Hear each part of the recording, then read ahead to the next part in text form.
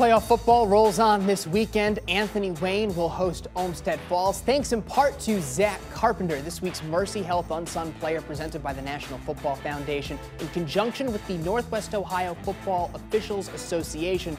Carpenter has grown into his role on the General, sees himself as a leader, and his detailed work off the field has led to more moments on the field in the second half of the season.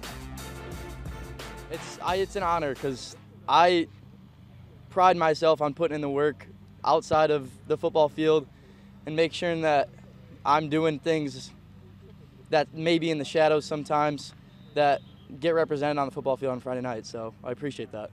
You know, he, he's uh, constantly been that that staple in the background that kind of holds everybody together. Uh, I think it was probably week four or five.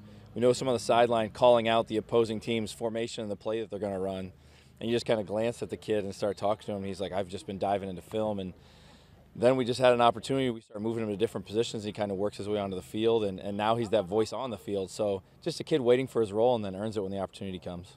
I think the preparation, definitely the preparation, uh, all throughout the week, starting on Monday, definitely getting in the film room and um, preparing with all my coaches so I can make an impact on Friday.